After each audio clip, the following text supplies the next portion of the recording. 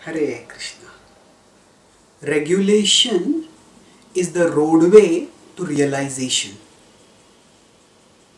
Regulation means that when we engage in any activities, then we don't do we do it in a moderate, balanced way, uh, and don't indulge in excesses. And normally, regulation refers to especially things which we want to indulge in things which we think because they are pleasurable, so we want to do them in excess. Some people think of regulation as deprivation. It's enjoyable, why should I not do it? Let me enjoy more and more and more. But uh, the problem with uh, regulation, uh, with lack of regulation, there are many problems. Uh, sometimes this lack of regulation has uh, consequences of health, it has consequences of finances, so suppose a person drink, uh, a person overeats, he doesn't eat in the regulated way, overeats, then what happens? Then the person becomes obese, develops different kind of diseases, and of course spends a huge amount of money also, first in eating and then in treating. So treating the body, and in that way we get uh, we get into trouble. So even from the material point of view, get into trouble. But regulation is more important because it also helps us to get towards realization. So Krishna talks about regulation in 6.18 in the Bhagavad Gita, Yuktahara viharasya, Yukta cheshtasya karmasu, Yukta swapnavabodhasya, Yogo bhavati dukkha.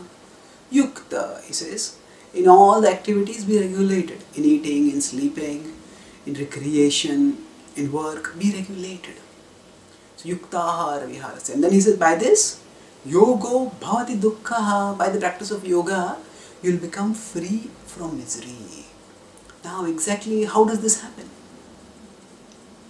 So Krishna is not saying being yukta, being regulated will lead to freedom from misery. He is saying the practice of yoga will lead to freedom from misery.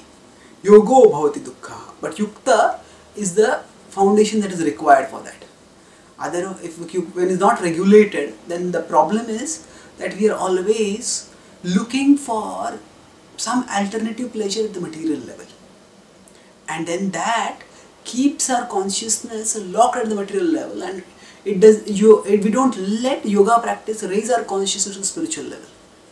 What this means is, put it in a simple way, say for example with respect to eating, if we decide that these are the times I'm going to eat this, this, this, and then uh, then there are certain food items which are available at that time. There may be particular menu or whatever, and we may also play a part in deciding the menu. It may be according to our like, but we decide, okay, these are the foods that I'm going to eat, and then at these times, these foods, whatever is uh, cooked and provided, I'll eat that.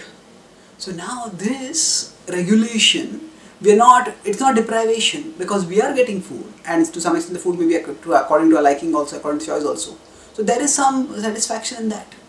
But there is a regulation because we are not eating any time and every time that we feel hungry. We are not eating whatever we feel like eating. So then by this, our mind stays free. During the rest of the time, once we have decided, okay, these are the times I'm going to eat, then other times our mind is free, uh, because we not kept that option for the mind to eat whenever it starts feeling hungry the mind stays open uh, uh, for doing other constructive activities Otherwise, the mind is always exploring. Maybe this, maybe this, maybe this. Maybe I can go there and eat that. Maybe I can go there and eat that. Once there is regulation, then uh, once the mind accepts, okay, you're not going to get anything else to it. So why why think about it? Why crave for it? Craving will only cause uh, dissatisfaction. So better not think about it only. Don't crave for it. So like that regulation, it brings some amount of uh, discipline on the mind, uh, and then that mind becomes ready to concentrate on more constructive things. So then what? Then we can uh, we can do other work better. If you're constantly thinking, maybe I should just take a tea break, maybe I should take a snack, uh, maybe I should take some snacks, maybe I should just take a drink, whatever. Then the students, if they're trying to study like this, professionals are trying to work like this, they're always distracted. Maybe maybe this, maybe that, and then they're not able to study. They're not able to work. So even at, uh, from the point of view of working in this life, regulation helps us to, regulation brings about concentration. And then Uh, so now this principle when we apply it to spiritual life, if we have decided that okay these are the means of gratification, these are the food that I'm going to eat, these are the time that I'm going to eat the food, then what happens by that? Then we can concentrate the mind on higher spiritual pursuits. We are not constantly looking. When will I get um, get some material gratification? When will I get material gratification? When will I get material gratification? We are not we are not obsessed with that. We are not preoccupied with that, and uh, then we can focus on higher spiritual truths. And when we focus on higher spiritual truths, then we get higher happiness. Otherwise, we may be going through the rituals of bhakti, but because we are not focusing on Krishna, we don't get higher happiness. And we don't get higher happiness, we stay uh, we stay vulnerable to the temptations by the lower happiness and we get lower pleasures and then we are dragged down to those lower pleasures sooner or later. And in that way, we stay in illusion, we stay entangled. So on the other hand, if we are regulated, then uh, regulation is the roadway to realization. Now roadway, on the roadway, we have to move along the roadway. And what moves us on the roadway, yoga, yoga practice is the engine that moves us along the roadway. But if there is no roadway, then moving along becomes much more difficult. So if there is no regulation, then our yoga practice also becomes a, becomes much more difficult. But when there is a roadway, then we can move much faster. So if there is regulation, then we can move forward in the sense that uh, we there are opportunities for say uh, for material gratification at fixed times and apart from that we remaining times we are constructively engaged either in our work or in remembrance of Krishna.